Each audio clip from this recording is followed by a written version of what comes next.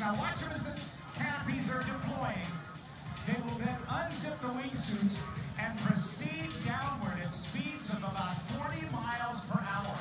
High and above at 6,000 feet under the high canopies are Clint Clausen and Jeff Provenzano.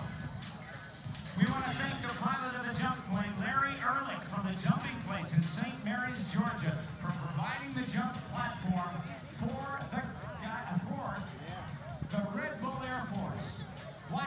spiral down, reaching speeds of over 70 miles per hour. Now, when they get down a little closer, I want you to make some noise. Whoever makes the loudest noise